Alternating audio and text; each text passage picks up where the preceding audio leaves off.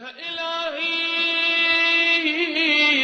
أمرتني فعصيتك ونهيتني فارتكبت نهيك فأصبحت لا ذا براءة لي فأعتذر ولا ذا قوة فأنتصر فبأي شيء أستقبلك يا مولاي؟ أبسمعي أم ببصري أم بلساني؟ أم بيدي أم برجلي أليس كلها نعمك عندي وبكلها عصيتك؟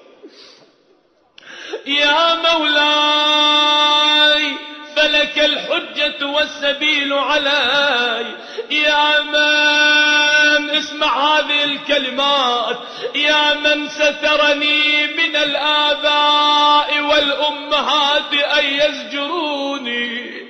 ومن العشائر والإخوان أن يعيروني ومن السلاطين أن يعاقبوني. ولو اطلعوا يا مولاي على ما اطلعت عليه مني إذا ما أنظروني.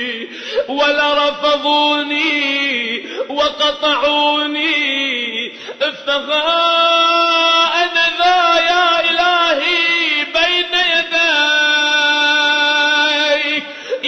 سيدي خاضعون ذليلون حصيرون حقيرون.